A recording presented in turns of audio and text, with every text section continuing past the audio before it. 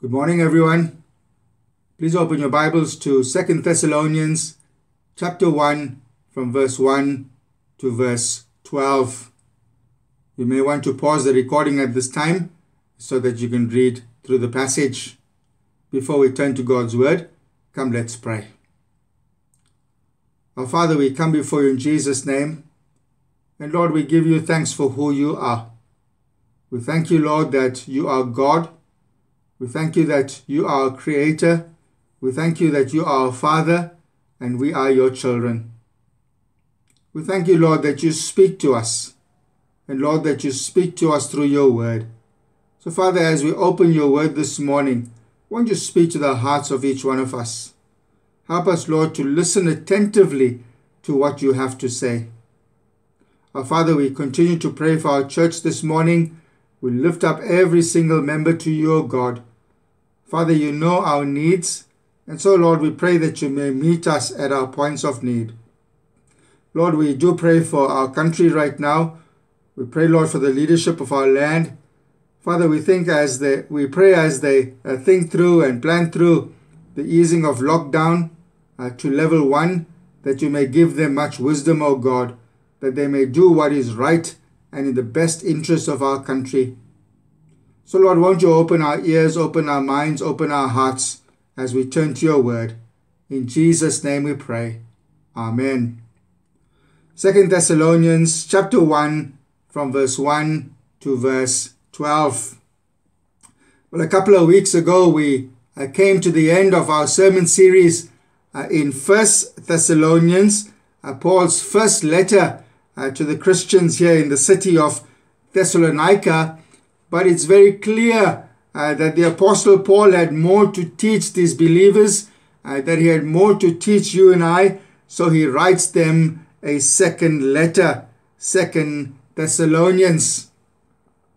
The Apostle Paul and his team were greatly encouraged by this young church who, in spite of severe opposition, in spite of ongoing persecution, they remained faithful in their walk with the Lord.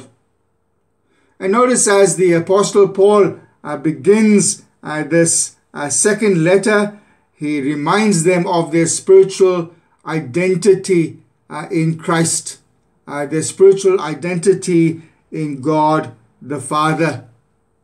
And thereafter, he encourages them by reminding them uh, that God's grace and that God's peace is with them. What wonderful words uh, for these believers to hear. Uh, these believers who are going through intense persecution, who are going through a very, very difficult time. Uh, what wonderful words, encouraging words for them to hear that God's grace and that God's peace is with them. Friends, the title of my sermon this morning is A Church Worth Boasting About. I have a look there at verse 4 in chapter 1. Paul says, Therefore, among uh, God's churches, we boast about your perseverance and faith in all the persecutions and trials you are enduring. A church worth boasting about. I guess every uh, pastor and uh, every committed church member is convinced uh, that their local church is worth boasting about uh, for many reasons. If you are to speak to uh, one of them, uh, they would probably give you a long list of reasons why they would boast about their church. But I wonder if the Apostle Paul would support our boasting. I wonder if the Apostle Paul, uh, as he reflects upon our own church, uh, would support our boasting. Friends, as we reflect on this passage, may God help us to understand why it is that Paul can boast about this church. Now, some may argue uh, that uh, he can do so because he planted this church. But then again, we must remember that this is not the only church that the Apostle Paul had planted. So, what was so special about this church? And as we examine this passage, uh, there are three truths uh, that I want to draw your attention to this morning as we reflect on why uh, the Apostle Paul boasts about this church. The first truth I want you to notice uh, is that this is a church deserving of thanksgiving. Have a look there at verse 3. Paul says, We ought or we should, we feel compelled to, always to thank God for you, brothers, and rightly so, because your faith is growing more and more, and the love every one of you has for each other is increasing. Therefore, among God's churches, we boast about your perseverance and faith in all persecutions and trials you are enduring. This is a church that is deserving of thanksgiving. It's no secret that the Apostle Paul is greatly encouraged by this church, and his heart is bubbling over with thanksgiving. And notice here that he is thankful for three things. Firstly, you'll notice he is thankful for their growing faith. Now listen to his prayer in 1 Thessalonians chapter 3 verse 10. He says there, night and day. So continuously, night and day we pray most earnestly that we may see you again and supply what is lacking in your faith.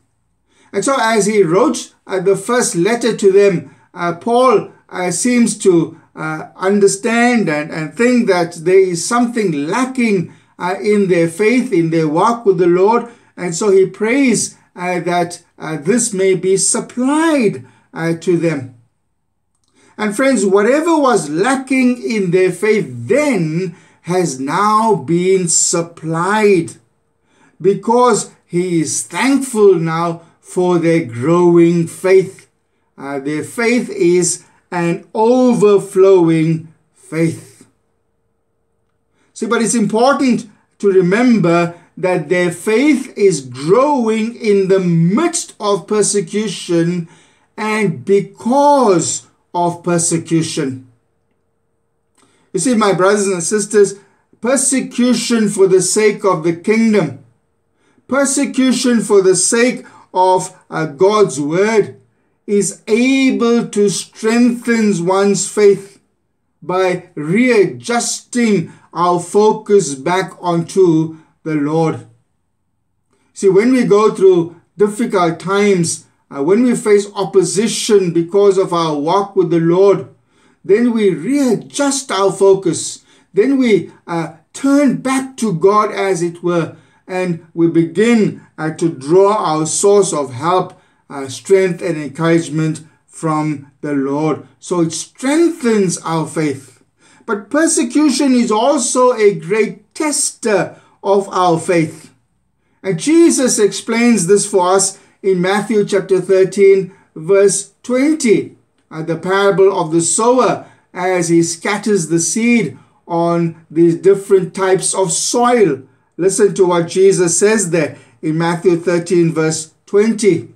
He says, The one who received the seed that fell on rocky soil is the man who hears the word and receives it with joy. Notice that he hears the word and receives it with joy.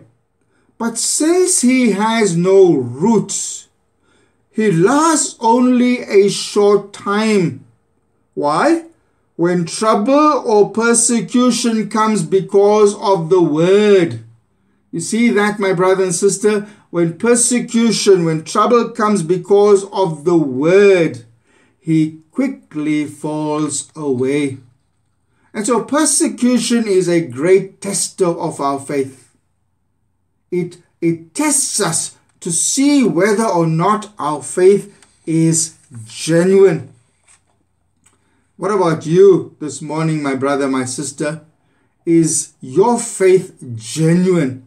Is your faith a growing faith or has your faith stagnated? Are you growing in your walk with the Lord? Are you growing in your relationship with the Lord? Are you growing uh, in your understanding of God's word? Is your faith a growing faith? My brother, my sister, I trust that it is. I trust that your knowledge of God and of the things of the Lord are growing every single day, drawing you closer in your walk with the Lord. Friends, the evidence that their faith is growing is demonstrated in their increasing love for each other. And that's the second reason uh, he can speak about uh, their uh, deserving thanksgiving. He is thankful for their increasing love for each other. Again, in 1 Thessalonians chapter 3 verse 12, he reminds us uh, that this is what Paul prayed uh, for these Christians. Listen to what he says there. He says, May the Lord make your love increase and overflow for each other and for everyone else, just as ours does for you. That was a prayer prayed by the Apostle Paul for this church, and his prayer is being answered. What a great encouragement. Friends, the reality of uh, their persecution reminded them that they were hated and despised by the world. That's why they were being persecuted. They were hated and despised by the world. However, the more they suffered for the kingdom of God, the closer or the stronger their love for each other developed the stronger their love for the Lord developed. They were increasing in their love for each other. Brothers and sisters, these were men and women who were putting the words of the Lord Jesus Christ into practice. Remember what Jesus taught in John chapter 13, verse 34. Jesus says, A new command I give you love one another. Sacrificial love. As I have loved you, so you must love one another. This is a command for the Christian. It's not an option. It's not something to reflect on and think about. Uh, it's a command. By this, all men that will know that you are my disciples, if you love one another. Friends, the world will know that we belong to Jesus, not because of how resourced or how gifted our church leadership may be or our music team may be, or because of how many people come to our church. No, our, the world will know that we belong to Jesus because of our sacrificial love for each other. Because we put the needs of our brothers and sisters in Christ before our very own. Can you say this morning that you love your brother and sister in Christ more than you love yourself? And so the Apostle Paul is greatly encouraged here because of their growing faith, because of their increasing love and thirdly, he is thankful for their perseverance. Perseverance through suffering. Again, this is something that Paul desired for this church. 1 Thessalonians uh, chapter 3 verse 2 he reminds us of this.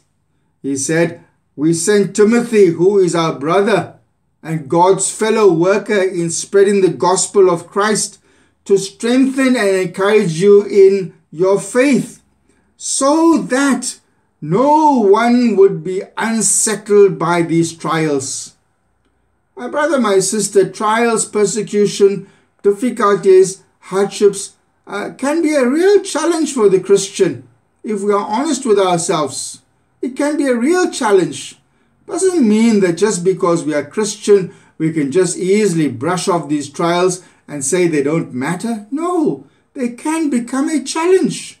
They can really discourage us from time to time. And so Paul says, so that no one will be unsettled by these trials. And so he is thankful for their enduring perseverance. So, my brother, my sister, these are the three reasons why Paul is boastful about this church. He's boastful because they are growing in faith. They are not stagnant in their faith. They are growing uh, through persecution, because of persecution.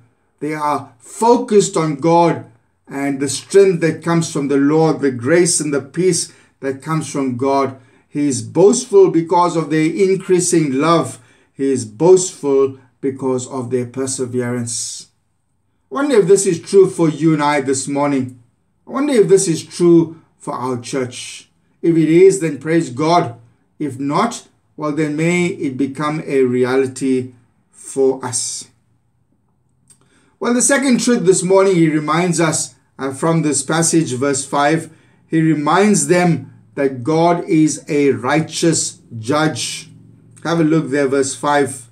All this is evidence that God's judgment is right, and as a result, you will be counted worthy of the kingdom of God for which you are suffering.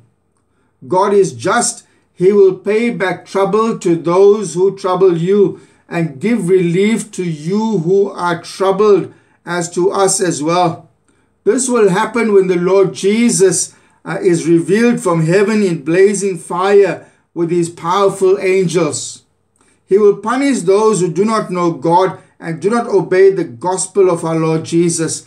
They will be punished with everlasting destruction and shut out from the presence of the Lord and from the majesty of his power on the day he comes to be glorified in his holy people and to be marveled at among all those who have believed.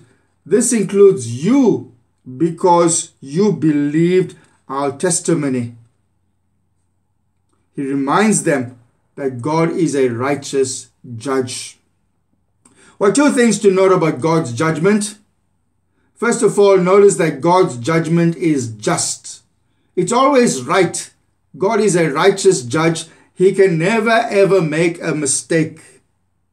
He reminds us here, verse 6 and verse 8, that God will judge the ungodly.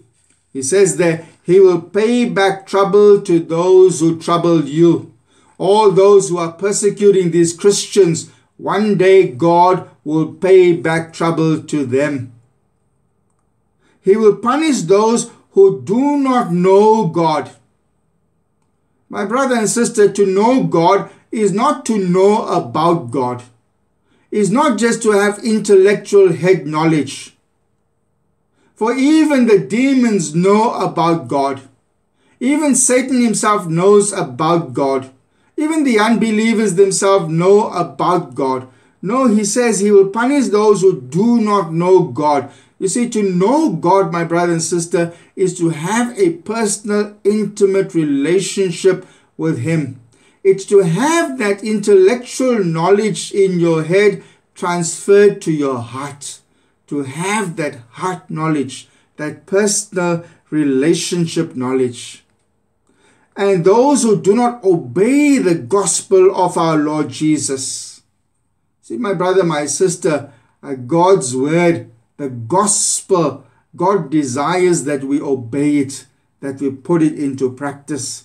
And so God will punish all those who do not know Him and do not obey the gospel of our Lord Jesus. There are many in our world today who claim to be Christian, who claim to know God, who claim to know the gospel but do not obey it. My brother, my sister, if that's you this morning, then I trust that you'll be very, very mindful and think carefully of this. To know God is not enough or to know about God is not enough. We have to have an intimate, uh, personal relationship with Him. to know the gospel message is not good enough if we don't put it into practice. And notice uh, their punishment there, verse 9. They will be punished with everlasting destruction, not temporary destruction, not a destruction lasting for a long period of time, but everlasting destruction. In other words, their destruction will never ever end. Never ever. And they will be shut out from the presence of the Lord and from uh, the majesty of his power. Shut out. Friends, the language here, the language of shut out, uh, reminds uh, us of God shutting the door uh, of the ark uh, in the days of Noah and saving all in the ark. My brother, my sister, when God's when God shuts the door, no one, no power is ever able to open it. So those who are ungodly, the unrighteous, they will be judged by God. They will suffer eternal destruction and being shut out from his presence in the eternal fires of hell. But secondly, notice verse 5, verse 7 God will reward the righteous. See, God is a, a just judge, He's a righteous judge. To those who are guilty, He declares them guilty. To those who are not guilty, He declares them not guilty. He rewards them, His children, you and I. Verse 5, verse 7 And as a result, you will be counted worthy of the kingdom of God for which you are suffering. Worthy of God's kingdom. Verse 7 And he will give relief to you who are troubled and to us as well. What a great encouragement that is to know that uh, one day God, the righteous judge, will count us worthy of his kingdom. And secondly, I want you to notice there concerning God's righteous judgment is that his judgment is certain. It will happen. There's no doubt about it. For day is coming, verse 7b and verse 10. This will happen when the Lord Jesus is revealed from heaven in blazing fire with his heavenly angels. We don't know when that day is, but we do know that it is a certain day it will happen. On the day he comes to be glorified, uh, in his holy people, that is you and I, and to be marveled at among all those who have believed, you and I. This includes you because you believed uh, our testimony to you. A day is coming when God, the righteous judge, will judge accordingly. My brother, my sister, are you looking forward for that day? A day of deliverance. Well, the third truth uh, we need to note in this passage, chapter 1, uh, comes to us from verse 11. Paul reminds them that they are always in his prayers. Have a look there, verse 11.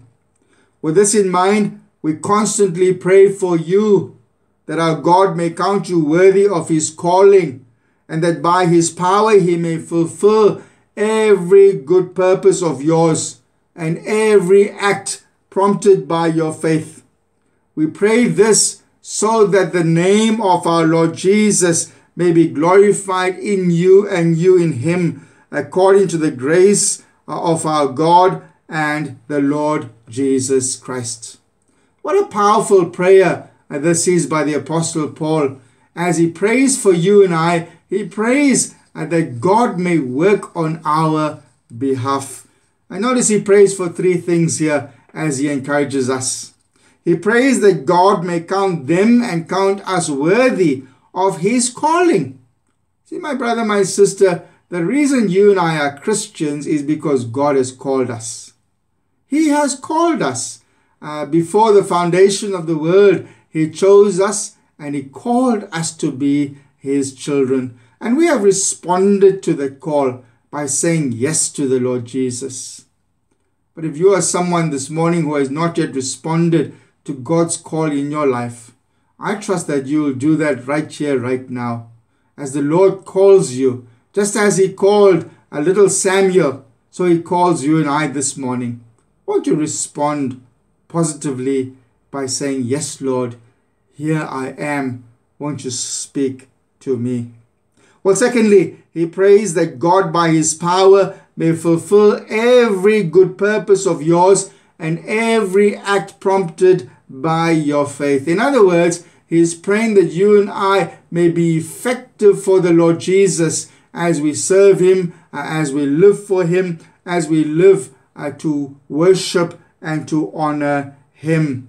And that this may happen uh, by God's power that is working within us as his Holy Spirit lives within us, as we allow God the Holy Spirit to use God's word to shape us, uh, to mold us, uh, to make us more and more like Jesus. And then, lastly, my brother, my sister, he prays that the name of the Lord Jesus may be glorified in them as he is glorified in you and I. Friends, the reason you and I live is for the glory of God. We don't live for our own glory. We don't live for the glory of our church. We don't live uh, for the glory of uh, our work or our family or society or whatever it may be. We live for the glory of God. We live so that we may shine for Jesus. Are you shining for Jesus? When people look at your life, when people look uh, at your witness, do they praise the Lord? Do they say, All glory and honor go to God? We live for His glory. May whatever you and I do always bring glory and honor to the Lord Jesus. If not, then we need to reflect upon our lives and we need to change those things that bring him dishonor so that it may bring him glory and honor. Indeed, this is a church worth boasting about. Friends, may this be a reality uh, for us as well as a church. And so, as we wrap up, a church deserving of thanksgiving.